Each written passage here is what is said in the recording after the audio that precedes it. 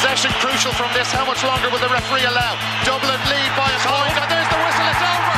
It's over. We earned it by winning the last two matches on the road, and that's not going to be taken away from us. But what I love in hurling, I love players that will never give in. He hits it. He hits it. It's over the bar. Oh, holy Moses! Hello, welcome to the RTGA podcast. I hope you're all doing well on this miserable Wednesday. Recording on a Wednesday because poor Rory has to go to the dentist tomorrow. You all right, Rory? Cam, no. Going up to see my buddy Dan McCartan, so can't wait for that. Uh, pity for him, Dalo, huh? Pity for Yeah, him. yeah, yeah. And due a visit, I'd say as well. It's, there's a few, there's a few bits and pieces that are po- bound to get painful, start- but you know the they way start- you yeah. don't go until it gets painful. You get the salt water first day, though. Yeah, and, or uh, drop a brandy, just- drop a brandy, yeah, Rory. exactly. yeah. Clove oil, you know, go to all the extremes and then get to the dentist. Uh, so this week's RTE uh, Dentist podcast is brought to you by. Um, we'll have Pat Spillane on later to talk about the uh, football finals, but it's obviously Anthony Daly here with me and Rory O'Neill to look ahead to the the hurling final, uh, predominantly one A, but we'll also have a We'll be putting One on the final. next quiz with me and Pat, Mikey, and, Yeah. the questions are kind of evenly divided. The quiz, yeah, that was great. D- dentistry quiz. That'll be fair. Equally unfair to both. Um, so we'll have a look at the Division Two A final briefly in a little while, but it's um it's it's an all monster clash. Um, I think any any questions about any of the whinging from us Leinster folk about Munster superiority are, uh, are are well and truly put back in their box now for a little while. And as Rory said on Monday, I picked a good day to take off to miss out on the uh, on uh, discussing Wexford's uh, defeat to Waterford. Well, Dalo, I think we were all very lucky that TV producer Rory O'Neill couldn't manage to put out a video version of the podcast because the shit-eating grins on himself, Mick Foley, and Donald Cusack's faces would have been too much to handle. I Uh, think. Uh, I suppose there's a bit of cockness beginning to creep into the air, all right, Mikey, isn't? Oh, a little bit between that and their footballers' majestic Yeah. win down in Tullamore. it was very Yeah, funny, it's actually. the park or nowhere now, as well as this. Yeah, it was not very funny. Keeve, obviously. It, it was very funny, actually. I obviously had to cut it out. I might send John the clip, Mikey, just because I didn't have to edit it out. But um, when when when Dónal Óg arrived, he said, "Oh, Jesus, triple Corkage." He says, "Do you know what? Now we should just go Cork all the way." I said, "You want you want to get me in more trouble, Dónal Óg?" but anyway, uh, Dale, we might as well start with them. They were very impressive. Um, you know, they came from behind against Kilkenny, and what was a fantastic game. I had I had a very busy weekend, so I didn't I didn't get to watch everything from start to finish. But I did. I managed to sit down and watch three quarters of that game, and it was thoroughly enjoyable. And Cork looked very good, and it's it's it's very noticeable, Dalo. Um, with the match very much in the balance, they were able to take off Shane Kingston and Patrick Horgan and freshen up their forward line and still get the business done. Yeah, and that's the beauty, I suppose. There's a lot of talk, uh, Mike, about the Waterford depth and uh, how will he pick 26 for the championship if all are fit. And but I mean, when you can pop in Tim O'Mahony, who's definitely going to start in Yeah. the championship, you pop in Jimmy Harnedy, you can pop in Jack O'Connor and and Conor Cahalane. You know, so you you have options, and um, that's the one thing with Cork. They've been developing uh, the likes of Joyce, Darrell O'Leary didn't maybe have his greatest day, but that's learning curve for a 19 year old. That will happen along the way. It's not not going to go all Uh, that way, you know. So Ma- Massey is a particular kind of challenge as well, isn't yeah, yeah, different than maybe you know Mm. what you're expecting to be inside a full forward. He probably be you'll be looking like him at a corner or a wingman, but you know, lethal and, and head down and goes for goal. And Kilkenny brought all that we probably knew that they'd bring Mike. Um, they just don't do no shows in league semi-finals, and they brought the kitchen sink in lots of ways. Now we all know that that TJ Reid uh, man to come back into play as well. So um, yeah, it was a lot to admire from Cork, especially for me that they kind of drew level. I think around the forty fourth minute uh, with Manny's point, and then it looked like you'd say Cork, you know, going to kick on now at home, massive home crowd, and it was hit the next patch where they took over, and yet for Cork, Fitzgibbon was huge, you know, um, down the stretch. I thought he he really he really took over things. Alan Connolly, huge performance, and Connolly Han is probably one of the stories of the league. I mean, this time last year we didn't see any hope that Connolly Han would be playing the league final. So, yeah, it's a lot going well for these men. Um, they look a happy camp, and uh, you know, it looks like an intriguing battle at the weekend. And one, I think, I don't think Mikey Wexford showed up. I don't know what the thinking was. I was very, very disappointed. Um, just the attitude was off, and if the attitude is off against a Cork, a Kilkenny, a Waterford, you know, the top what a seven eight, you'll be beaten, and and you'll be beaten well by this Waterford squad at the moment. Yeah, yeah. Uh, it's it's all smoke and mirrors. It's all it is. It, yeah, it's it's it's it's rope it up. You know, we, yeah, like Darrell will be hundred percent proven correct if he if he sends Galway out of Wexford Park packing with two pints on the bag. Yeah. So, but for me, I don't know what you gain from that kind of a, a no show. I, I, find it hard to figure. Gerald yeah. was a bit of a man for that as well now. But the thing with Ger Loughnane, he probably didn't start doing it until we'd at least one All Ireland bagged. Yeah. You know, so for me, they have a much tougher start as well, though. Dale, like Wexford, I think it's is it is it Galway at home, Dublin away in their first two yeah, matches. Yeah. You know, so like that's that's difficult because by the no, time, Dublin are at home, they have two games at home to begin with. I still so think Dublin there's nothing to be gained. You know, you, you, we all saw okay, got a couple of minutes into the chin, but we all saw Conor McDonald hobbling off, mm. and we don't know what the extent of that is. So I, if you go and play it, go and play it. I think, and if you're beaten, you're beaten. Worry about the final then if you have to worry mm. about the final. But I don't get that conceding 520 doing yourself any good. Though they, had, they were the only team to win every game in the league up to that. So they've probably taken an awful lot of positives from the league. But yeah, it was a just it was a brilliant game Saturday night. I really, really enjoyed it. I watched it alongside uh, Sunday game pundit. Looked very fresh on Sunday night, Shane Dowling. Um, and we, you know, it's good. Good, you could tell every one of the, the Piercy boys was loving it. Like they were, they were locked on. You know, there was no distractions with music or, or jukeboxes playing or anything like that. It was National League semi final and a cracker from the park. So good sign of it when those lads are completely locked on. Another great hurling men. You had the you had the boys down for a, a, a team building session, was it? Bit of bonding, bit of bonding, Michael. Bit of bonding. Marty Brown, Marty Browns for the bonding, please. Did they play a match? Did they play a match down there? No, they just had their first outdoor training session, Rory. I think the Limerick boys are so confident, Rory, they're going to be in the All Ireland final. The Limerick Championship's not penciled in until sometime in August, where the Clare one is penciled in for July. So we we've a good few outdoor and two rounds of the league played as well, and playing our third on, on Saturday. And um, you know what, though, from a Limerick perspective, I know we're digressing here, but you know what? Like, given the weather the way it was there for the first couple of months, maybe there's a bit of there's good method behind that from a Limerick perspective too. You know. Oh yeah, they trained. They had a good training session, and they, they have their own clubhouse, of course, um, in in Piercy with their own bar and everything. So there's a bit of food there. Out to me, watch the game. And I'm going back to Barefield. Shane, I think, trained uh, Doora Barefield, St. Joseph's Doora Barefield last hmm. year. He's gone back playing. Yeah, there's a chance that he might be able to play again, which is yeah. fantastic for him. Yeah. Yeah. yeah. Hmm. Talking to the manager, Kieran Birmingham, he said he trained very well on Saturday in Aurora. So things are looking up. They'll buy the Dow. They'll buy the Dow. Jeez, Mike, he might have to write his column about his return to Junior B hurling. Then I think. That, oh, this is senior. He's going for senior. He's, he's not going back for Junior yeah, B, yeah, Mike. He's going back to play senior. You won't meet him in the in the All Ireland Club semi final, Junior B, Mike. you could sing that if you had an air to it, Dana. Um, anyway, we we have digressed.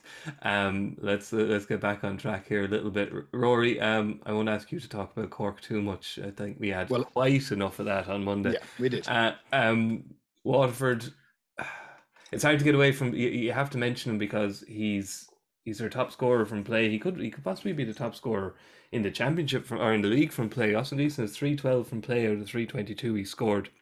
He's a huge loss. He's he's regained, you know, whatever.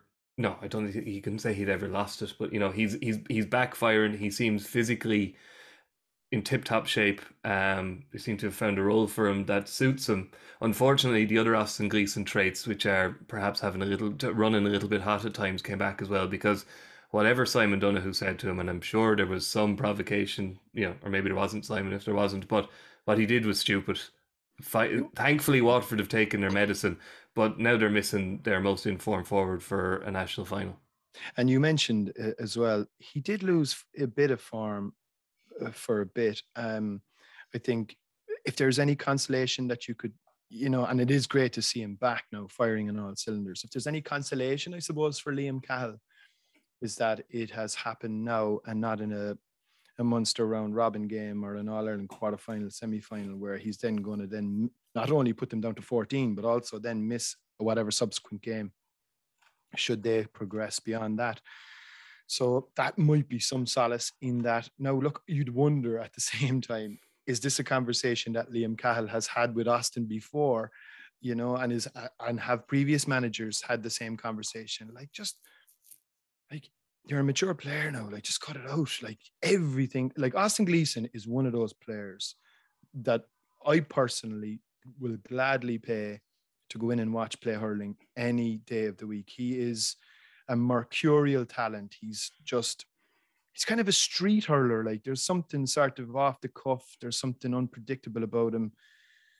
He kind of plays in a way that you know you'd, you'd you'd want if you were coaching young lads, you'd say watch watch Austin Gleeson. Like look look at the way he like. There's a kind of a, an, a sort of an abandonment and a joy about the kind of style that he plays. But like that part of his game, he's just got to cut it out because you know he's not a child anymore. Like he's he's around now, uh, maybe seven eight years on uh, as a senior intercounty player. It's just it's unhelpful, and you could even see by Liam Cahill's reaction as well the last day. Like it was just a sense of re- a real sense of disappointment. He probably felt like I mean it was a real case of seriously like what are you doing, you know? And um, Rory, are we going to have this case now with the I think managers it's- going like this on, on the sideline anymore? yeah, yeah, yeah, yeah, yeah. I think it's disappointing as well for the spectacle because you know, like he's been kind of playing that midfield role. I mean, like if you were, like if we were looking forward to Darragh Fitzgibbon versus Austin Gleeson, I mean, what a what a what a what a treat that might be on a Saturday night. Like, I mean, so I think it's detracted a little bit from the spectacle that it might be, and um, it's a real pity. But look, just to go back to the very beginning of our podcast series when we were previewing it, I went for Waterford. I felt that it's kind of, as we said, it's year three now for Liam Cahill. He's built a really strong panel. They're in un- unbelievable physical shape. They have been to the near enough the mountaintop on a few different occasions, whether it's Munster finals, All Ireland finals. I think a league final might be a big boost to them, um, and just in terms of that little bit of confidence that they'll get from it to kind of push on into the championship. But I, they're they have so much depth. Like in years gone past, you might say an Austin Gleeson figure missing for a Waterford would be a mortal blow. To my mind, they have so much depth now. Austin should probably be worried. Will he get his place back? You know, like they they like they will have ready-made replacements, and maybe not to the same quality, but like just they, they just to me they look like they're humming and Hmm. they're they're very much in sync with management, game plan, strategy, fitness, conditioning. They obviously have the hurling. No, I'd fancy them big time Saturday night. Yeah. Um, Dalo, just uh, on the Dalo Go, yeah, well, laughing. I do though, genuinely, Dalo. I, You're I at it for centuries, never mind decades. um, just uh, just on the kind of the temperament thing, Dalo, I, I would imagine you played with, we know you played with, and you managed a few players who, who possibly you know kind of you know ran red in football. It's less the individual flashpoints. We have kind of what we had in Armagh and Donegal. It's inter- in hurling. It does tend to be the kind of the individual kind of these flare ups, and they're never prolonged. It's a moment of madness because I suppose you've you've a weapon in your hand, so to speak. Um, and not saying no that so, he was- there's no so to speak about it. Yeah, yeah, yeah. It's a weapon. Um, it's, See the it- back of that head, Mike. it's it's clearly it's something that's in some people, and I would imagine from a coaching management point of view, it can be quite hard to get out because you might want to question, well, do I want to get it out of him altogether? That mightn't be good either. Yeah, they used to say that about a lot of lads. If they t- if you took it away from him, would he be the same man and he that kind of thing? Yeah. But like, look, the score is five twenty to sixteen points. No matter what, Simon. Simon gives a little tap, I think, on maybe his calf as the Mm. ball is going out wide, and Mm. you know maybe there's a verbal or two. I don't know, but you're, if there's a verbal, just give back a verbal. Just say, take a look at the scoreboard there, Simon. Point at the scoreboard. Yeah. and uh, I've fair, I've two whatever got out of that, like two, three from players, you know. and and I like I think I think you look at you say similar. Rory spoke about him like to watch him. I love watching him. I love him Love as a player. I, Yeah. The transfer market, and you could try and squeeze that bit of um, not devilment or whatever you want to call it, petulance or whatever you want to call it out of Mm. him. I mean, him, himself and Tony Kelly be the two I'd, I'd love to watch more. Maybe Cian Lynch, obviously, as well. Um, at the moment, I suppose you could look throwing, you can join the Hoggies and the Darragh Fitz, but but Gleeson is a Rolls Royce, like, and you know, just you'd never see Tony Kelly getting involved in that. Like, he'll just walk away have a smirk, say we're beating you by what Altar boy. 19 Altar points. boy. Yeah, but he, but Tony, well he able to look after himself as well, you know. So yeah, yeah. Yeah, I did have a few lads like that over the years, and you just have to keep on the case, I think. And and um, I suppose no better learning day now for Austin on Saturday night when he's sitting up in the stand in Thurles, Hmm. watching the lads run out in a national final, and he's playing some hurling. And I don't think Rory you'd have got the Darragh Fitzgibbon Austin Gleeson clash because he's no way he's operating at midfield. It seems to be this free roll down the left side of attack, and it's so Wexford had no handle on it at all, and a lot of teams I think will struggle because it's very hard to time down. He was targeting the short puck outs as well. Um, and his link up with Dessie Hutchinson for me was just something to behold. And uh, look, I, I I think nearly the opposite to you, to you, Rory, that I think it could be the they have a good panel. I mean, everything tied back at centre back, Jack Fagan switched to the half back line, big success. And mean, sign of Conor Prunty, Jamie Barron? yeah, well, the talk is Prunty might be available, but be fair to, to double down on your depth, Iarlaith Daly has done some job at full back. Yeah. Um, again, Jamie Barron, Darragh Lyons has playing some stuff in the middle of the field. They have a lot, but I just think the loss of Austin Gleeson is is very hard to quantify, and I I think it maybe sways it for me in my head that Cork might, might have the the edge. I think that look, Mikey, big thing as well about it is they don't meet for six more weeks. Mm. 15th of May down in Waterford, which could be a massive, massive day for both teams. Um, so you can probably there'll be a lot of water will flow under the bridge before they meet again. So they will want, I think Kieran and Liam as well will want that national title. And they're both in Kieran's in his second term. Uh, Liam in his third year. I think they're both as a manager. Look, I've been there. You you want to get something won, you know, and a league title now for not, for either is nothing to be a league title and get get into three in Munster would be a savage early season target, and you can take the rest of it in on its merits and, and go for everything. Dalo mentioned Dalo mentioned Kieran and and Kieran Kingston and Liam Cahill. If um, I was the TG Ceathair director now, I'd be scanning the crowd very vivaciously on Saturday night because I wouldn't be surprised to see a whole host of intercounty managers all sat up in the stands watching this one very intently because I think Dalo is correct. I think the two teams will go for it. I think there'll be no shadow boxing here. I think they'll put out pretty much their strongest teams. There might be one or two that you try, you know, and say, look, let's see how he goes. This we'll know for certain. I think full back is an area that Cork will maybe try again and just see if he if he can settle into it. Yeah, I think Uh, Rory, you can't like.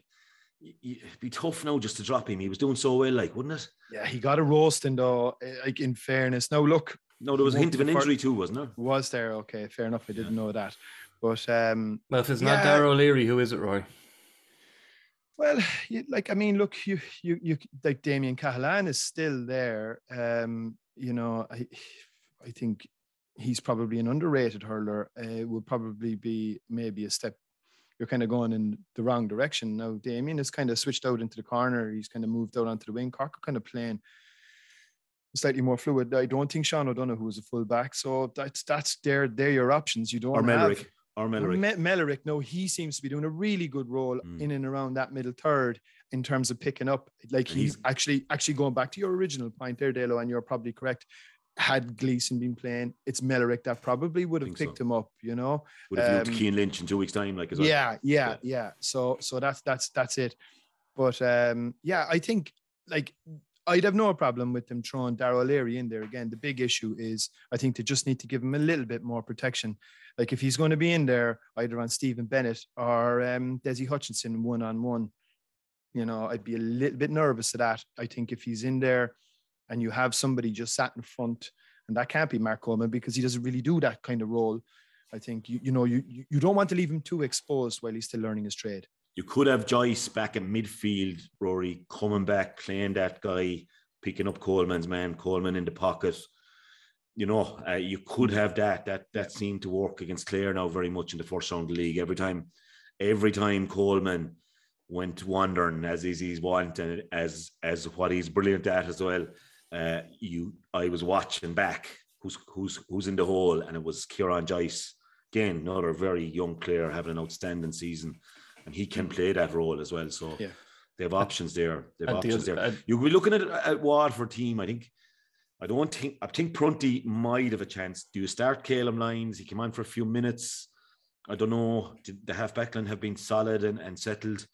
Stephen Bennett won't play, is what I hear, and Jamie Barron won't play, is what I hear. He might be in the 26. Right. So you'd be, you'd be looking at him, but as we've spoken about, they're still very strong. Very strong. Mm. Still very strong. You, you're going to have Mike Kiely full forward if you don't have Stephen Bennett, who brings a different sort of. Oh, he's a handful. Yeah. yeah. Yeah. yeah, he's very much a handful. At the other end of the field, then just think like Shane Kingston, Rory, he only had a point the other night against Kilkenny. Um, he doesn't often, you know, kind of have two such low tallies as that in a row. So, um, other than that, like Alan Connolly had four points, Hoggy had nine, albeit eight were from frees. Um, you know, there's definitely a shape there on their full forward line. Um, that I think uh, appeals to the Cork hurling fan, shall we say? Yeah, it does, and I think Alan Cadogan isn't too far away either. I think he had a bit of a setback recently there. I think was it a calf injury or something like that, Dalo? I'm yeah, not entirely yeah. sure. So he's he's um he he gives a, another option again with that pace. You know, whether Lehane starts or comes in. I mean, look, I think as a front six, and Cork kind of still kind of play largely a traditional front six. I think Cork are as strong as any team out there. You know, I think they're uh, for, as a front eight actually from eight right up to 15, I think that that won't be Cork's problem on Saturday night. It's what goes in the other end really is going to be the issue. And that's kind of been the issue for a while now, you know. If it's a shootout, which it could be, um, the only issue, as as we know, the weather is meant to get a lot cooler. It is meant to potentially there is the potential for rain and pretty cold. So we're kind of back to sort of wintry conditions, which would suggest much lower scoring tallies. And I think if it gets into a bit of an arm wrestle, I just think Waterford are probably better set fair for that, and that's why it's slightly favour them. And you, you're fancying Cork, Dale? I think I do. I, I, I, still think Rory, even if it, it is getting colder, even this evening, you could you could even feel it this morning. And um, but Thurles is going to be in great shape. I'd say, mm. you know, and like, there'll be a big Cork crowd. Like they'll have they'll yeah. have by they'll have the vast majority of the sport. If there's twenty thousand there, there'll be fifteen thousand from Cork. You know. Yeah, and if you you can win a semi final against Kilkenny with with Kingston and Hoggy really not firing from play, uh, I, I'd fancy Cork. I think there's. You know, those two will be due. I like Shane Barrett at 11 with the option then of Spring and Harnedy. you know, I like the way that's that dynamic is working uh, for Kieran. Um, very impressed with Alan Connolly as well. The last uh, also like stepping up, saying I don't want to be an impact sub here. I want mm. to play, and that's what you want. And there's some competition. Look at everyone is raving about the strength in, in Waterford's squad. There's serious, serious depth in the Cork squad as well. And I think Cork might edge a great game, but um, as TJ Ryan would say, it's like the deaf dog. It's hard to call. it's a great one. That. Um, it does. I have seem, to give him the credit. I should have said it. It's a dinger. Uh, uh, seems Division Two A was hard to call too. As just a quick mention on it, because after after Kerry famously did a number on tip uh, in the Munster, let's not call it a league, let's call it the cup. Um, you know, there was a lot of talks that they were shoe ins, and I mentioned it here a couple of weeks ago. The Down were going well, and I can't remember who was on with us. Said, "I know Kerry are going to come good. Kerry are going to come good," and they didn't. So we have perhaps the unexpected uh, final Dalo of Down v Westmeath. Down kind of won the league. Westmeath get through as the semi final winners. Um, it's, I'm interested what you think. It, what's more important, do you think, for a county that's developing? And Dónal Óg spoke quite passionately about this on Monday about how the GAA are failing, you know, the, the non traditional hurling counties. Is it more important to be in Division 1A or to get your your year in the sun in the Leinster Championship? Because you get marginally more games in Division One, um, but then the, the championship is the championship. I, I wonder how you'd view the two. Yeah, I think the league um, is is tough the way it is now with the kind of leveling out of maybe the Laois Antrim game was huge in in one B, and then we've probably felt in one A. I think it was, or it could be one A, one B now, but they're evenly divided. That Offaly were going to be the bottom team, and that's the way it penned. And yeah, I think we need to look at going back to maybe the the six team, mm. one A and one B being, being maybe having two traditionally very strong teams, maybe three ish and three, you know, who have a good yeah. chance of getting up, finding their feet, testing themselves against the big teams, and yet we'll have two, three games maybe against similar standard for the time being. Look, I don't think it's doing say, anybody much because it's not doing the strong teams a lot of good, really. The yeah. fans aren't being well served, and as you say, the yo-yo teams are just getting battered and going back down again. Yeah, no, delighted, I suppose, in one way. Sorry for Offaly. We all want Offaly back, but delighted at Antrim because they were so competitive, Mike, right Mm. through the league. You know, I mean, took Waterford, it took Neil McManus to put a penalty over the bar for them not to draw with Waterford up there. And we're raving here about Waterford. So beat Clare up there last year, drew, drew with Wexford up there last year. So, you know, they went down to Nowlan Park and I think Kilkenny, Kilkenny beat them by four. I think they just chucked away the, the the tip game with a view to being ready for Offaly. So now look, a great story for the year is down, how well they're going under Conor Sheehan. And Derry are going really well in the next division down as well. So the Ulster hurling on a bit of a high. It's great area there, the Ards Peninsula, you know, with Ballycran and Ballygalget, Portaferry, all playing the Antrim Senior League as well. And you know, they're they're close enough to Belfast, I suppose, there, but they they played at a good club level there, and that feeding in and some very good players. And I think you just look at the two Kerry games. Uh, Westmeath beating Kerry in the semi final and Down beating them in the game to qualify for the final. There's a fair line of form there. I looked at the Kerry team on both days, are very similar.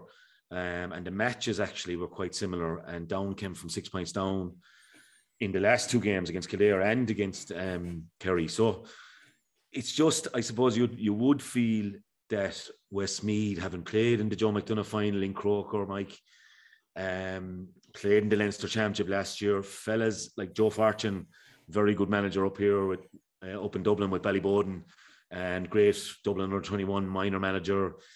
You know, to be able to bring on Davy Glennon from Galway as a sub after 30 minutes, to still have Killian Doyle and Niall Mitchell, you know, shooting the lights out, and, and Tommy Doyle, one of the best centre backs. Like if the Railway Cup was still going, Mikey, uh, the Jobber Doyle would be on, he'd be on the Leinster team every year. So I just think you have to look at their big day experience, and it's on in Thurles.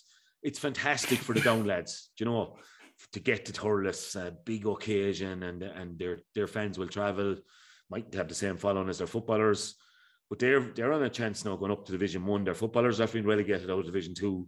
You know, that's it. Like now, it's different areas of the county. Obviously, that's that's what I mentioned Yeah. about the peninsula, and but it is it's it's a great occasion. I'd say they're licking licking their lips up and down to get down and into Thurles and Mm. take it all in. But you would feel Westmeath have huge experience in, in the squad and and should be more prepared for a big, big game like it is. Albeit, I would be suggesting maybe we, we have a long look at the leagues uh, Yeah. uh, in the next couple of months and see can we come up with something that bit more balanced, Mike. Yeah, because I suppose what, what what's looming then for them in two weeks, of course, is down get to play Kerry again in the Mm. Joe McDonagh, but Westmeath are hosting Kilkenny in the Leinster Championship. So the two of them, like this, this is kind of as you said, this is Down's high point, but for Westmeath, this is almost like this is the dress rehearsal. Yeah, that's it. Like, and and I mean, for down, I suppose at the start of the year, maybe staying to A, staying Joe McDonagh. So they're overachieving already. Like, you know, um, and it's it's it's a freebie for them in loads of ways. They can have a cut off it and say next year they'll be in there in the same group as Antrim if we get the same format, um, and they'll have a cut off their old rivals Antrim to stay in Mhm. that division next year at the very least. Um, so, lot, you know, a lot less pressure on them. But I think Joe Fortune's an ambitious guy. You know, he wouldn't be going down there to make up the numbers, and he'll want to get back to Division One hurling. And um, I just think they'll have too much. But uh, again, like you have to be impressed with Down. You have to be impressed. They've, Yeah, they've done yeah, everything. no, they've they been a great directly. story.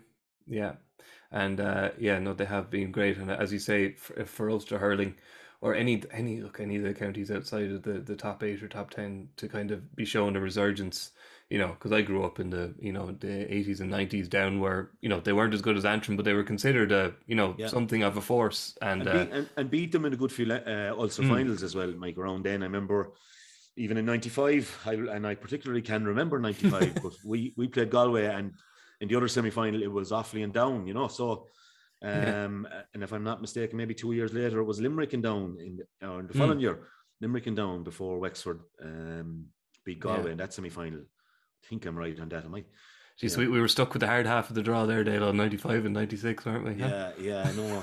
yeah, in fairness, yeah, but it was it. It probably no disrespect to the down boys. It probably with the four week break to the final, it maybe stood you better to have the tougher semi final.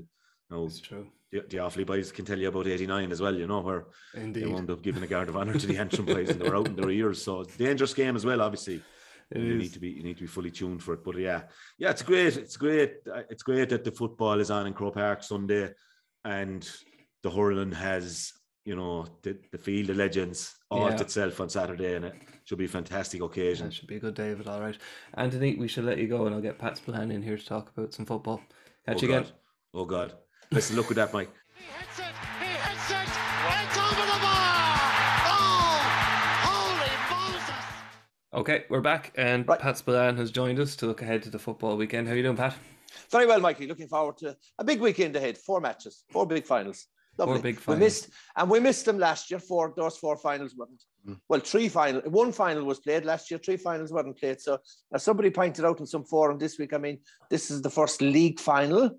Even though Kerry have won two league titles, sharing one, this is the first league final they've been in in several years, five years or something like that. So, Was something the to last look one, forward the, to. the last one, the, uh, the one they lost to Mayo, actually, then, I was think it? it might have been, yeah.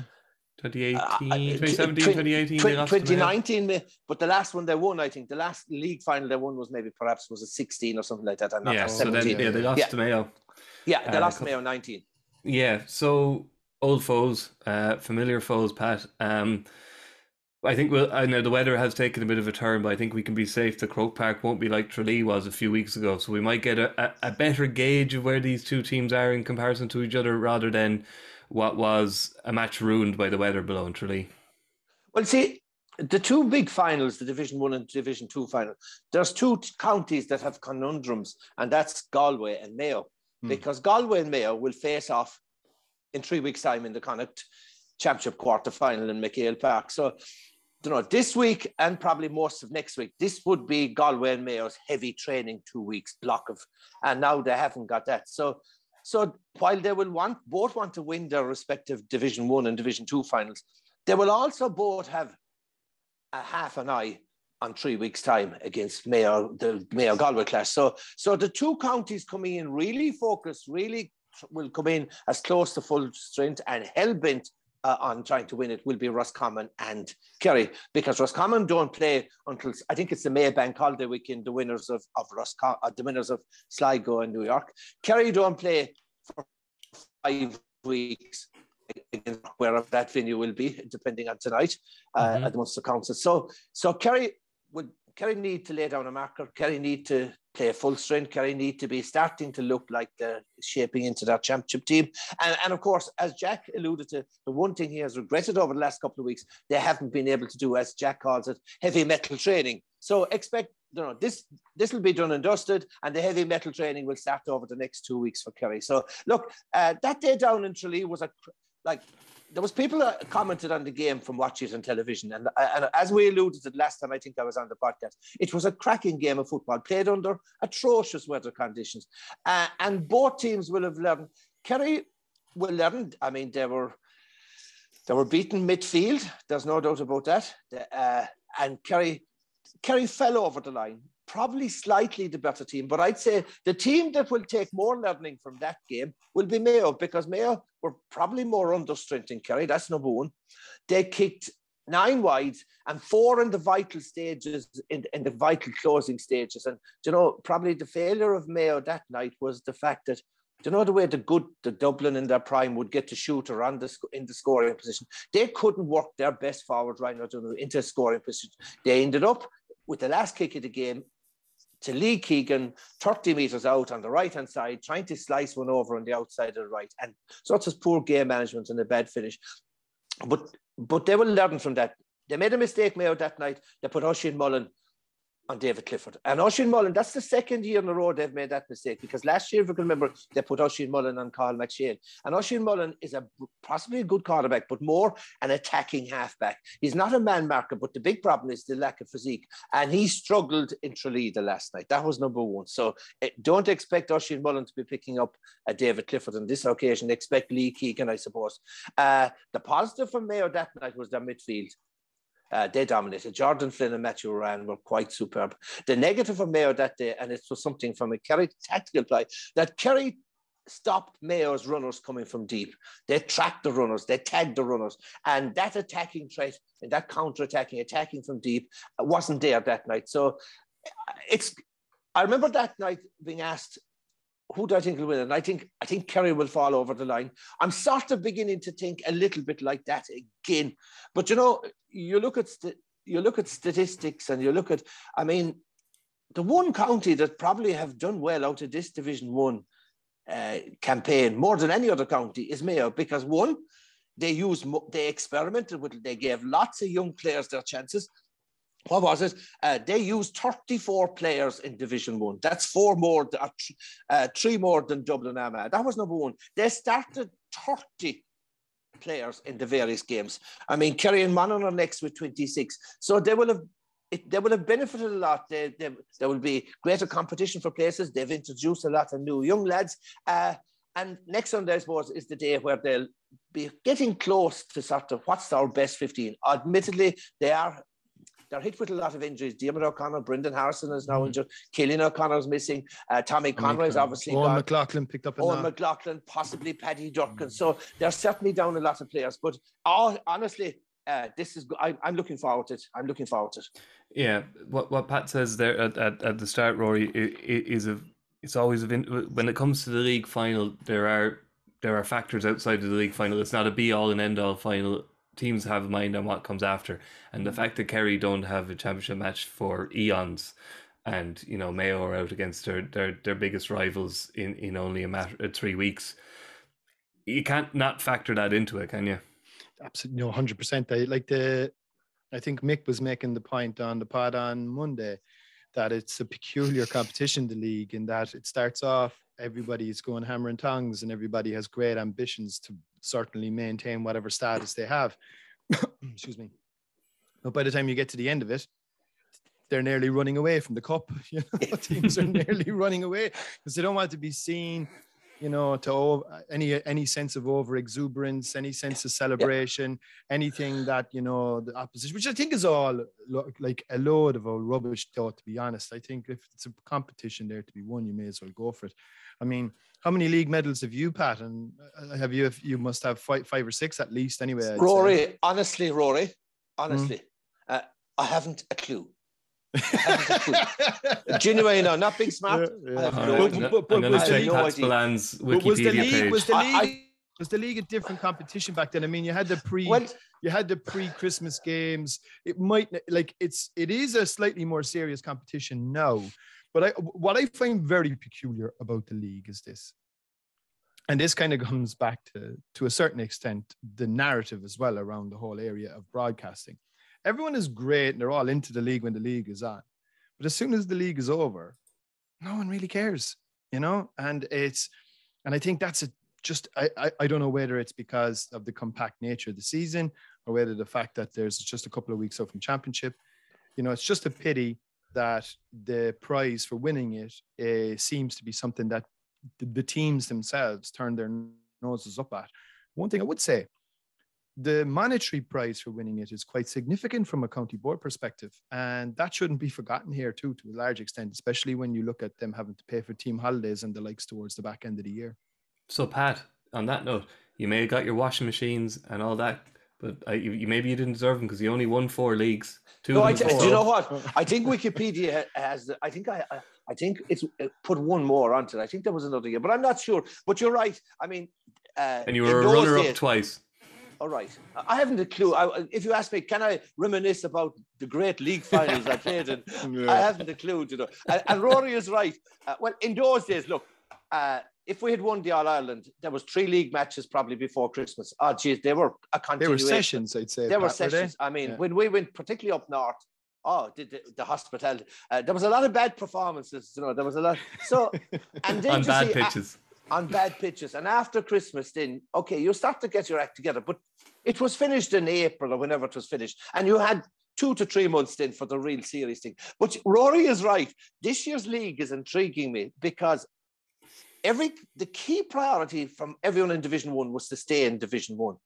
And once they had achieved that priority, Rory is correct. Job, job done.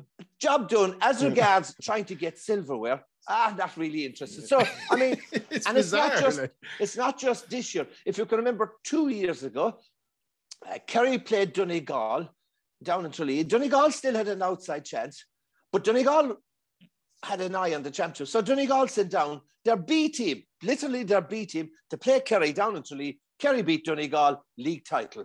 Uh, last year, if you can remember, it's Donegal again now that I come to think of it. I think Donegal played a semi-final against Dublin. And, and you know, they didn't, they weren't going hammer and togs again. So you look at this year. So so you look at this year and you say, has it changed? No, it hasn't, because you look at Mayo have been experimenting all through the league and they've got away with it. Uh, Armagh, hey, if the, if if Armagh were really serious of maybe having a slim chance of getting to league final, you wouldn't be resting Rian O'Neill for the last game against Donegal or Grugan. No, you wouldn't. And the other thing about the league this year, okay, a lot of them, two things. Weather conditions have impacted on an awful lot of games and made them lotteries. That was number one. But if you were into gambling, or going by form. Oh, holy God. I mean, the inconsistent form by some counties was just mind boggling. And like, you look at Monaghan, and look, we have to take it. We're all, I'm always wrong with Monaghan. We're, everyone is wrong with Monaghan because the minute you write them off, they they bounce back, and you start to say, "Well, why do you keep writing them off?" And you say, "Well, we give opinions, but we give opinions based on evidence." My evidence was I saw them playing against Kerry. It was the worst ever performance I saw a Monaghan team give in Division One. That was number one. Number two, I saw Monaghan playing down in Newbridge. They were hockey. They were opened up by the Kildare attack. They were desperate. And then they come along last Sunday.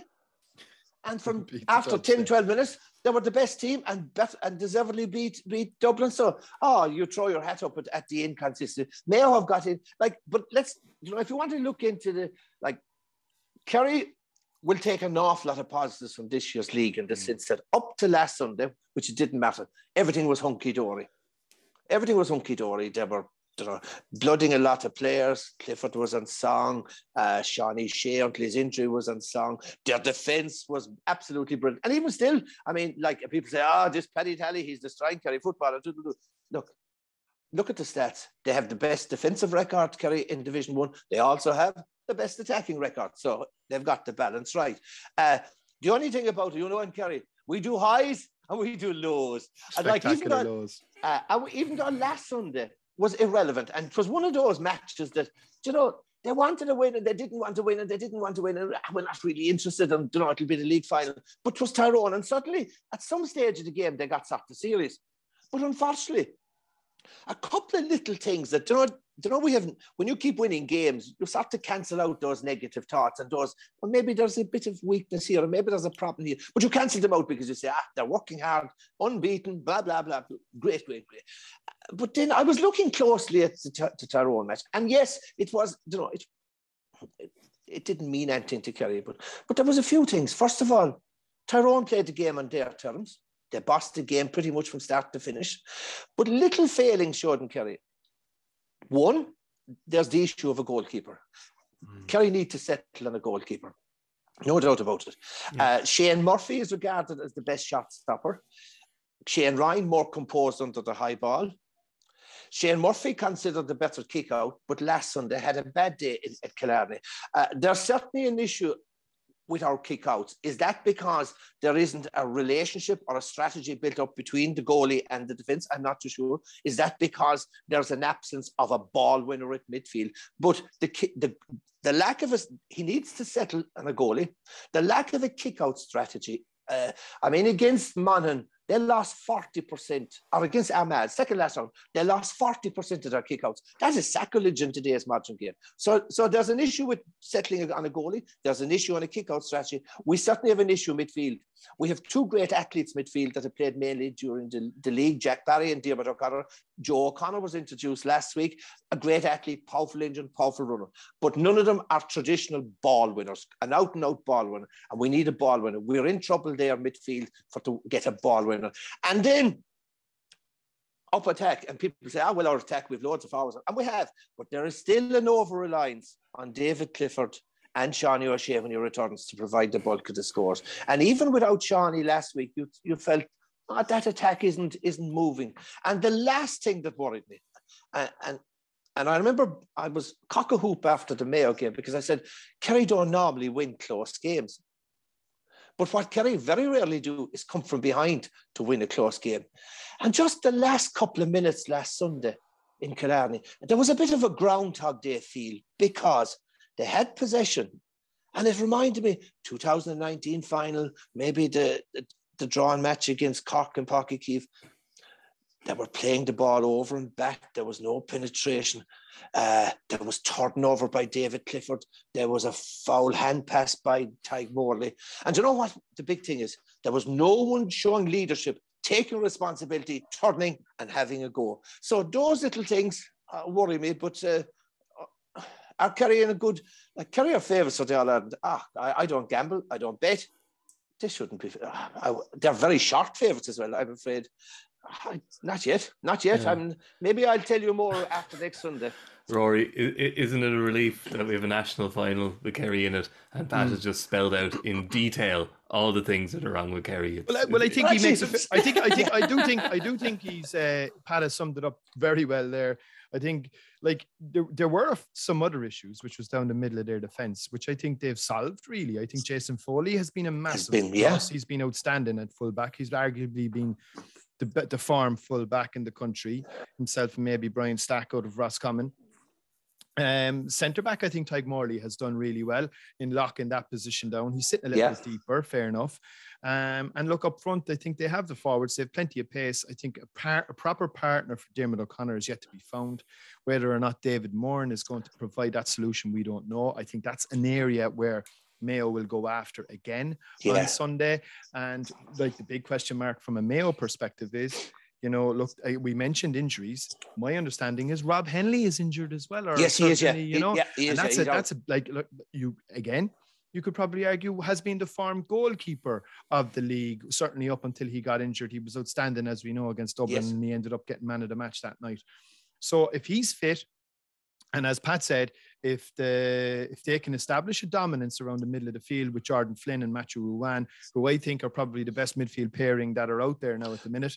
I think you know, look, we're in for a really good contest. It might be a slightly more old-fashioned two teams just putting putting the foot down and going for it, because um, they don't really know how to play each other. You know, you, like there's in in that sort of hackneyed old phrase in terms of boxing and where styles make fights. There's just something when Kerry Mayo meet well, there's something when everybody meets Mayo where it just becomes um, just a really, really open end, yeah. really open end to end game. And I'd expect more of the same on Sunday. I think it'll be a cracking contest, very hard to call.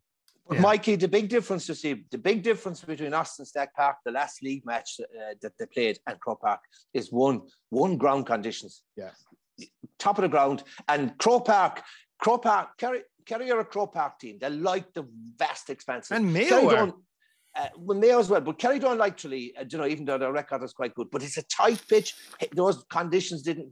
Kerry are, Kerry are, Kerry played their best football in a big, wide, open field, dry ball, Ferrum top of the ground. But actually, you know, it's it's, it's look. I, am giving trying to give an a where Kerry are. I mean, and there's a danger, like I said, where we get you get a bit carried away when there's unbeaten runs, and you sort of, like I said, hide read the too much into a defeat. You read too much. I know. I was looking at media comment after I did. I did. Um, an analysis on Kerry's defensive play against the uh, in in the match against was it Mayo? No, it wasn't. A, forget who it was any. It was the last night I was on League Sunday, and I was talking about their defensive play and how brilliant their defensive play, and what was different about Kerry's defensive play now about blocking the diamond, forwards tracking back, you know, a swarm defense, their huge turnover count, their work rate, their and like people were saying, ah, yeah, there he is now. He says, look, he's ah, there he is. He's a he's once upon a time he was anti-puke football. This was all wrong, and now there he is. He's advocating. This is what Kerry are doing, so it's good. Look, let's be clear. Let's be clear. Look, I don't like the way modern Gaelic football has become. I don't like this possession base. I don't like 15 players behind it. But if I've got, gone to spend every night of the year talking about I hate this type of football, that's a load of rubbish. Yeah, you yeah. you you analyze what's in front of you, and you're analyzing why did I'm not saying I'm not I'd, I'd love to say this this style of football I don't like, I don't like, I don't like, mm. and a lot of people don't like it, but some people do like it. But I'm there to analyse why did Kerry win, why did Kerry lose, why why did why they were winning all their matches, why they were unbeaten in the first six matches of the league was defensive play was absolutely brilliant. That's exactly it. So, so nothing about. But you know, let's go down. I am always intrigued, and like I said, ah, the easiest thing in the world is Mayo forwards. No, gee, I'll get like you'll never. And, and you know, you look at statistics, and, and and and you know the way there are lies, damn lies, and statistics. And it looks like that after next Sunday, the highest score in the in the Division One will probably be don't know. because he's just one point behind Dean Rock and he's second. Probably be Ryan O'Donoghue. Now, David Clifford is uh, a little bit behind. David Clifford is seven points behind. So the possibility that Ryan O'Donoghue will be top scorer, that's absolutely brilliant. So, right, that's Mayo's forwards. That's good. He, they have a top class marquee forward, and he has been very good. Then you say Mayo's forwards again, and I have another positive that along with Tyrone, they had more people, more players on the score, got on the score sheet during the Division One league campaign. 19 players. Patrick O'Hora the last day was the 19th Mayo player to score for Mayo in this year's Division One. So look, whoa, top class marquee forward, top scorer in the country, wide range of scorers. And then you start to say, you look at statistics, then you say, mm, all right, well, let's look at a few things. And then we looked at their game against Kerry. The starting six forwards scored four points from play. Their game against Tyrone their starting six forwards scored one point from play. And then you look at Ryan and say, geez, he's brilliant. But then you look at 35% of Mayo scores, one third of Mayo scores come from Ryan O'Donoghue. So while I could give a big argument how good Mayo forwards, I could give you as many statistics about their shortcomings. So that's the beauty of analysis. That's the beauty of statistics. And you know, people will say, ah, the real statistics and scoring should be free, include frees and all to a point, yes, I can see where they're coming from because statistically, if you score more than the opposition, irrespective of where the scores come from, they're, that's their scores. But any forward worth his salt, I just think that any forward in an intercounty, that the least you should demand from any forward in top class matches is a minimum two points from play. And when you think of, say, Ryan O'Donoghue, and he's going to be probably the highest scorer in the country, do you know what's Ryan O'Donoghue's average uh, in games so far? A point or two, I'd. It's uh, from play. It's about two points from play mm. per game. You know, against Kerry, the gas part about it was he was he was Mayo's best forward against Kerry. He got no point from play. Yeah. So ah, I, I, am I'm one of those people who so uh, I, I almost kind of discount. I look at the top score. I look at someone's like scoring tally. I almost discount frees. I know that's stupid. I, I know it's a huge skill, Rory. Yeah, I don't know how you feel about it, but I look at David yeah. Clifford and it's four seventeen from play, and I say that's unbelievable. That's magnificent. I, I, I think I think look again, not as Pat mentioned, you don't want to be oh back in my day and like or back in yeah. back in years gone by. I think there was an art form to the old fashioned free. I mean, Pat, you obviously played against him. I thought Larry Tompkins was just one of these incredible free takers from distance and certainly the ones from the ground. I, you know, like any, yeah, it, I think, you know, a 45 from out from a fair distance. I remember Brian Sheehan you know, some of the and, and even Rory Beggan now, and and we saw what Niall Morgan obviously did last year in the All Ireland semi final against Kerry, where just on the stroke of half time, did he put one over from the halfway line? Yes, it was close. It was close enough to it. So there can be a spectacular free and an incredible skill in that. So I, I wouldn't undervalue or underplay it. Um, but at the same time, look, I think Pat is 100% correct. Like the real true value of your forwards has to be what they can contribute from play because like that that that spells danger that's mm. that's what gives you that bit more cut and thrust if you're dependent on the referee's whistle to you know put your put to keep the scoreboard ticking that's not going to get you very far in a word lads who's going to win it I fancy, I do fancy. Look, I said it to you at the start. I didn't think Kerry would be beaten all year. That prediction's gone out the window. So there you go. That shows how much I know. I think last weekend though was a little bit of an anomaly. I think they hadn't much to play for, whereas Tyrone did. Um, I just think they Kerry are. It's time for Kerry, and I think Jack O'Connor's going for a hat trick, uh, in his own hat trick in terms yeah. of league league titles won in his first year in charge. This is Jack. This is Jack O'Connor Mark three and um, I'd expect Kerry to get over the line in another tight game. Pat? Yeah, I think I'd agree with Rory. I think uh, there's no doubt about it. The injury concerns that Mayo have are going to be, you know, they will not be at full strength. Kerry will be pretty much close to full strength. Not too sure about Seanie O'Shea or David Moran. Like I said, finding out some information from the Kerry camp, you would be better off getting the finding out the third secret of Fatima, but that's neither here nor there. Actually, I met one of the Kerry players last week, you know, and like I asked them a simple question. I can't remember, but it was like something like, what day is today? and, and, you he jumped know, out the window. and you know, they're looking at you and he's wondering, why does he want to know this now? You know? like, and and there's about a 30 second pause before before he answers the question. So, look, at fairness, I don't even bother ask, even ask him how is he feeling, you know, in case in case he's giving you it. Look, I, I think uh, uh, you're right. Jack's record uh, league and championship double every every. Uh, he's won the league and championship double three times. Uh, Jack will be hurting after last week. He'll be cross. I know the way Jack feels. Uh, defeat, even if it, in an irrelevant game, he'll be cross. He'll be cross with a lot of things that happened last week. Uh, so Kerry close to full strength. Croke Park factor, wide open spaces, uh, the fact that they'll, they'll be more focused, five weeks to break at the cock. This will be, uh, I think, Kerry to fall over the line be a cracking game. I think it'll so. Be a, yeah. It'll be a shootout, and but the only thing is, I'm certain is there'll be no uh, bonfires blazing in Kerry, win or lose uh, Sunday Yeah. night or Monday. There will be no celebrations because in Kerry. This is their second. This is they're going for their third league title, Division One league title in a row. Albeit they shared last year. It counts for absolutely sweet f all if they don't deliver Sam in the end of July. No pressure.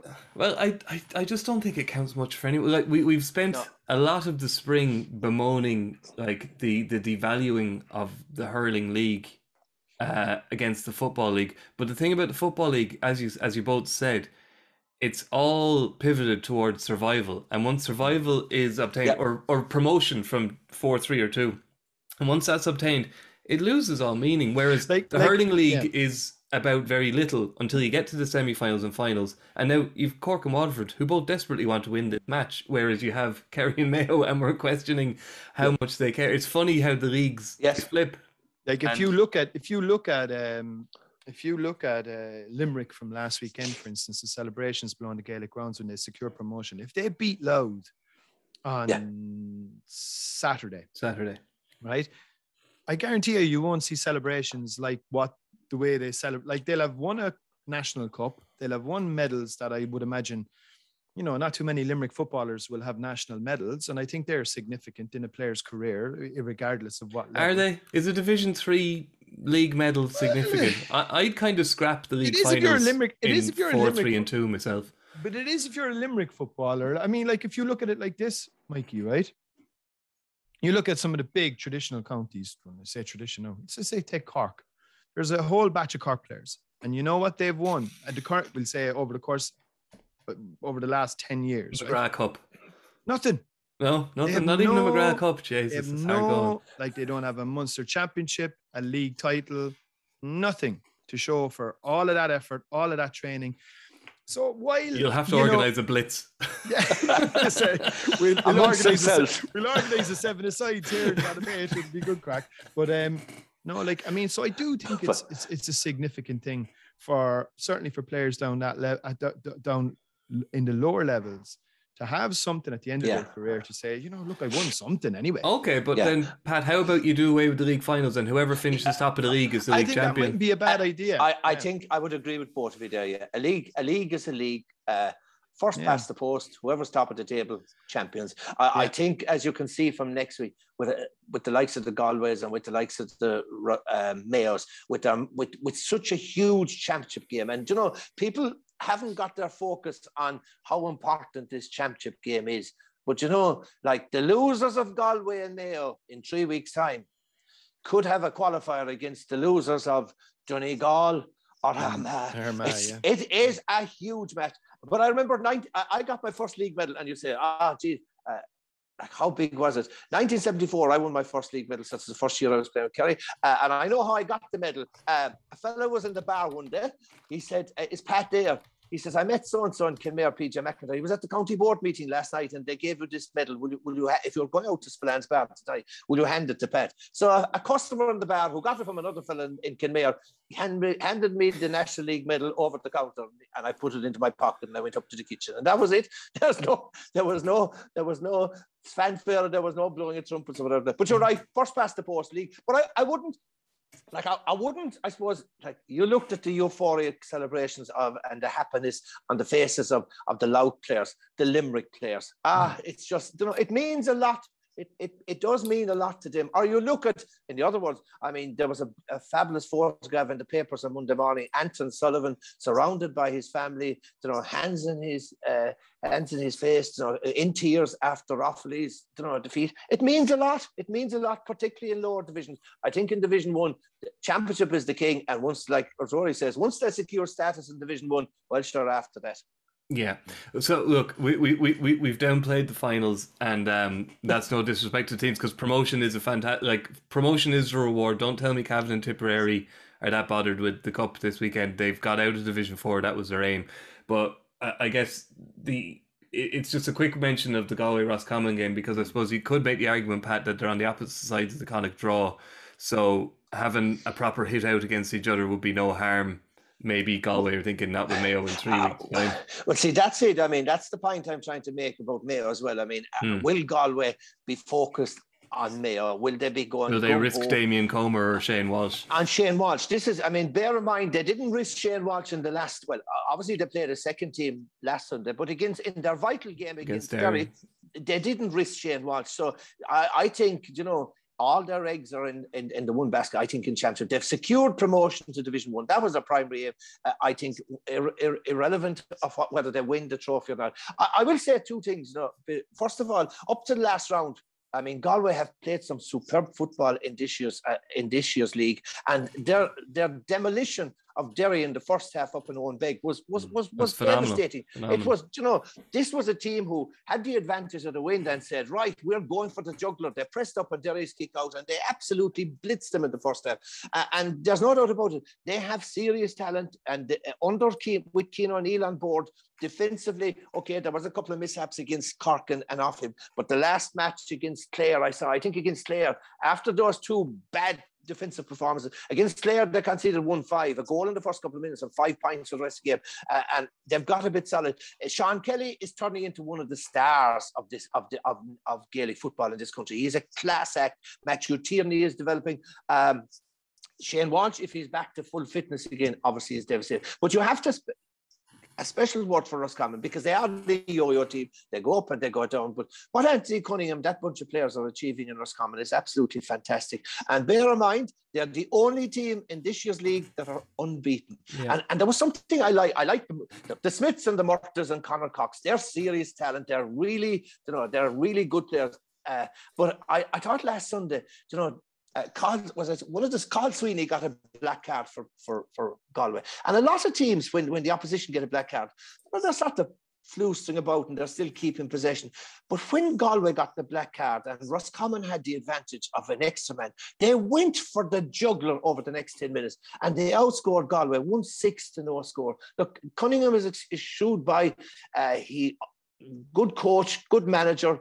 He's done brilliant work with that Roscommon team you know, it'll be well, it, it, it won't be. I, the only thing I'll be certain is it won't be as bad as the first half they played in last year's championship, which was the mm. worst 35 oh God, minutes yeah, in the entire that. championship season. Weather weather conditions, are right were poor, yeah. but uh, mm. I'm looking forward to it because it's a sort of clash of different types of styles yeah. and whatever. Very, very, very much Pat spot on. I think it's a real clash of styles. I think it's a clash of a very free flowing forward unit. I mean, if you look at the yeah. scores, Galway racking up 322, 411, 217, yeah. you know, like big, big scores. The 1499 scored. Like, you know, massive scores. But then on conversely, and, here's, that, here's the other converse, stat plus 41. Plus yeah. 41, they have yeah. the best scoring average yeah. yeah. scoring uh, but, in the country. But then conversely to that, you're looking at one of the meanest defenses around. I don't know, have Roscommon conceded a goal yet? Have they conceded one or two goals, maybe tops? I don't know. But you're looking at a very, very um, tight back six there from a Roscommon perspective. The one thing I'd say is there's two caveats. Croke Park usually lends itself to the team that has the more attacking threat. So on that basis, you probably favour Galway.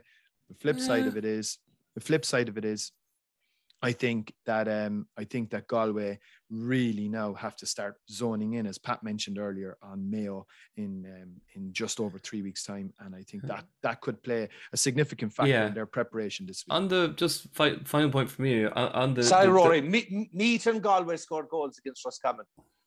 Two goals. Thank you, Mister Google. Yeah, two goals they've conceded. Um, the spread of scores in Roscommon is impressive. Their top four scorers, and I'm going, I'm going to leave out frees here. Uh, Conor Cox is 14. Donie Smith is 111. Enda Smith has 2 8. And Cian, McK- uh, McKeon has 1 9. So, so there's that, that's a really that's, impressive forward that, line. That's an impressive stat. I mean, when you look at the top, when you look at uh, when you look at uh, Dean Rock has 37% of Dublin scores. Jimmy Hyland, 36% of Kildare scores. Ryan O'Donoghue, 35%. Paddy McBrearty, 32% of, of Donegal scores. Darren McCurtain, uh, almost 30% of Tyrone scores. That's an impressive stat. That all round list of scores. Yeah. That is very impressive. Jesus, Pat brought his stats sheets today, didn't he? Um, Rory, did you did you enjoy TG Ceathair's coverage of the last day of the league? Eh, I did. I did. I like like look look. If you just wouldn't, I suppose, if you wouldn't mind indulging me here for a few minutes, right? And I just think like just one final thing. Teeing you up as best I can. Yeah, yeah. Just one final thing that needs to be said. I just what a fine job TG Ceathair did last weekend, and like they always do. Look, there's nobody watches as much TG Ceathair as probably I do, and I know I actually know a lot of people working there, and they're all great TV people. Great No Cameron people. Killarney, though, Rory. No Cameron Killarney. Very upset with that. Yeah, well, we had a mini OB down there, you know, but um, no, no, no. Giving credit where it is due means, like as usual, it couldn't just be left at that, and I fully accept. RTE is a bit like the government. It's seen as the establishment. It's it's a convenient punch bag, and that's fine. There's just a few things to be pointed out, and I think just to sort of, you know, stem the tide here a little. RTE's GAA calendar footprint now stretches across the entire year, from January right through to December. This includes, since pre COVID, 10 weeks of club championship action, initially four weeks of live league inter-county action, which is now being doubled as of this year to eight weeks at live inter-county action, which is all we're allowed show, by the way, because that's rights dependent. That then is supplemented by a weekly highlight show, which ran for the full 10 weeks. And that, by the way, is before you even begin to talk about the Sunday game, the Sunday game live, the unbelievable bounce around job that radio does on a Saturday and a Sunday, what our news department does pretty much every night of the week, and of course, what we offer here on the pod and, and online, not to mind Camogie, ladies football, the All Stars, International Rules Congress. And by the way, just, just as an, another aside, we've been doing simultaneous live games since the introduction of the round robin and hurling back in 2018 on two bloody channels, dipping across one to the other. Like, you know, TV wasn't invented last weekend. As great a job as TG Ceathair did, it was a fabulous job, right? But also, people need to remember, Mikey, that RTE is not a dedicated sports channel, especially when they start throwing loose language like license fee value around. And I've listened to some absolute garbage over the last two or three days. And I mean now, real verbal diarrhea. On one platform, it was mentioned that we should look at doing a Netflix series on the league a la Drive to Survive. Right now, here's a quick story.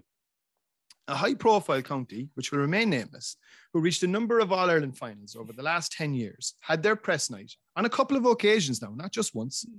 And at the press night, despite requests for player X and Y, the player that's put forward is a guaranteed sub.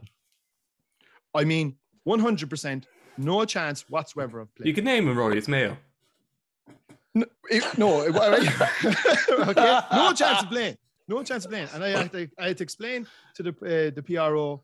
You do realize there's only a million people watching here, and they're going to be potentially listening to somebody who's going to be talking about a match that he's not going to be playing in.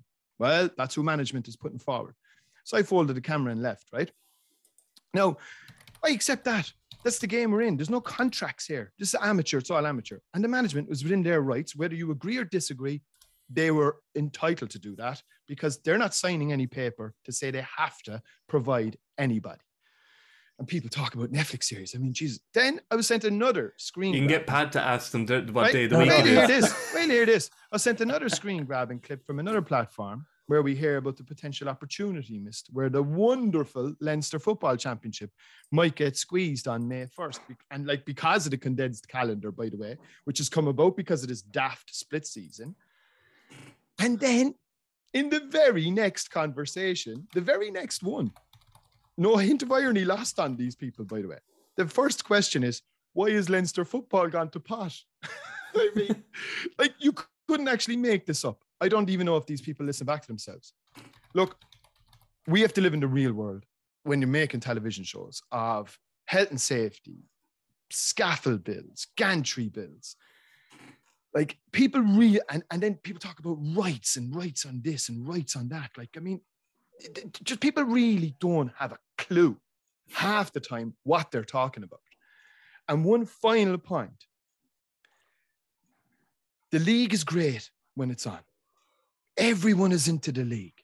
But when it's over, no one cares. Who won the league last year? I'll tell you, no one cares. And that's all I have to say. Sorry. Pat, that was that was a I think a monologue chi- I worthy think- of you. I think for a change, Rory is going to get all the flack after this week's podcast. I'm I probably will. So, so, so, Yeah. so to cover the bases, by the way, seeing as just before the critics go, just to, again, uh, can I mention the Division Four and the Division Three finals in case we've been accused? Uh, Division Three final, what Billy Lee has done with Limerick, unbelievable. What what Mickey Harte has done in lifting football and the profile of football in Louth, absolutely fantastic. Uh, I mean, Louth got beaten in the first round of the league by Laois, and you'd say to say, ah, they'll be relegated. Laois are relegated. Limerick, I lost a lot of key players during the league, and you know, down through the years, it's well documented that a lot of players didn't want to play football with. But Limerick are with Limerick. But what Limerick are doing, Limerick are setting a template in Gaelic football that every other weaker so-called weaker county in Gaelic football could do. They're they're putting huge resources, huge personnel into coaching of Gaelic football, underage up through the development squads, with hmm. Paul Kinnerk, the hurling coach, as as so they're reaping the reward and they will because it's all about setting a foundation. And I know Mickey Harte is doing well. So that's a cracking game. Really looking forward to it. Possibly fancy Limerick because they have, I think Billy has got that sort of player that, that's required for Gaelic football, that big, strong, athletic guy, and probably Limerick to share that. Yeah, I think that match, their their round robin game was the game played on the plastic pitch, if I was, remember correctly. in- and in I think that was one that was one they let slip. I think so. It I, was, yeah. I, I'd expect Limerick maybe to try and right that wrong. And and then the Division Four final is the final that sure everyone knew was going to happen anyway, in the sense that uh, divi- the, there were the two best teams in it, in the sense that these are two teams who only two years previous were in the All Ireland semi-finals. So, uh, although in fairness, they, they they stumbled over the line. Tipperary got beat, drew with Waterford in the first round, got well beaten by Leitrim, and okay, got their act together. Uh, I watched Cavan play once or twice, and and they stumbled over the line. Uh, they were lucky to beat uh, Sligo when the, Sligo had a man sent off just after, just to start the second half. Uh, Tipperary beat them above in the league, which was a big shock. I think Mm. Cavan to get, re- I think Cavan to get revenge. So I fancy Cavan and Limerick. Uh, and I'll tell you this, I'm sure there will be good celebrations because you know what? I remember when you talk about celebrations and people don't give a damn. Uh, uh, just one little thing on a personal note. I always remember when I got my cruciate knee, knee injury and I was told I'd never again play football. Uh, and one of the things I always said to myself, what, I reg- what was my regret thinking my career is over? And the biggest regret I had was that that I never celebrated victories or success. That was my biggest regret. That I said, geez, you know, I took them for granted. And, and success, whether it is a Division Four title, whether it is Jesus, promotion Jesus from Pat, Division in that Ker- in that Kerry team, you must have been the only one. I know that. I know. And you know what? I vowed if I ever came back again that I'd I'd enjoy success. I'd celebrate success. I'd celebrate victory. I'd, I'd savor victory. And you know, that's what promotion in the league should be for all those counties. That's where winning a Division Two, Division One, Division Three, Division Four title. Uh, medals and honours aren't handed out to everyone. And there isn't one for everyone in the audience. It's the chosen few. So yes, we can slag off the league and people don't get into it. But lads, it's a national title. It's a medal. Okay. Enjoy it. That was a- Embrace it. Embrace it. Yes, look, that was our, our final league uh, podcast of the day, and I thought it was very eventful. Just just a note on, on, on what Rory said, where he says uh, people don't don't have a clue. I would say that extends from the general public to uh, people in RTE, Rory, because I remember when I came in, I had this great idea for a soccer Saturday style, like kind of live online show. You know, kind of to, as the results come in, yada yada, reporters at the grounds. And when I started to think about it practically, uh, it was explained to me by people like yourself and people with knowledge just exactly how much it would cost and how many people you would actually need to do it for a an online platform. Uh, it was just made no sense. Yeah, so and yeah, people- yeah, you have to remember as well. TG Ceathair are only a television station. They're, they they don't have responsibilities to radio or online or like I mean like they like so you know whatever budgets they're getting and they use it really well. I mean they deserve massive credit, massive kudos. But just people just really don't understand. They don't understand. Like I heard another conversation about rights. Okay, and people were saying like why can't they spread the rights around but okay so we, let's say we're paying let's say we're paying let's make an arbitrary figure 100 euros for the rights for the championship but then to, to show a match on a simultaneous channel which is going to go directly up against us which is going to be let's say we're showing cork and kerry on one channel and Setanta or tv3 or virgin or whoever decide and the GAA sell them the rights to the secondary game, which is going to go directly up against us. Well, uh, why are we paying 100 euros so for the rights to show this game when you have direct comp- competitor showing another version of the same ilk and pulling the same audience away from us? So straight away, your value on your rights drop. Like, you know, like, like people don't understand. They just really don't understand it. And I think sometimes we're not very good at articulating the complexities around this in a way that would probably help people in a better way to understand. And there are, look, there are commercial sensitivities too, and I understand all of that. Ah, you've explained it all very well, Roy. People still won't care. They won't care. You They have won't explained it very well.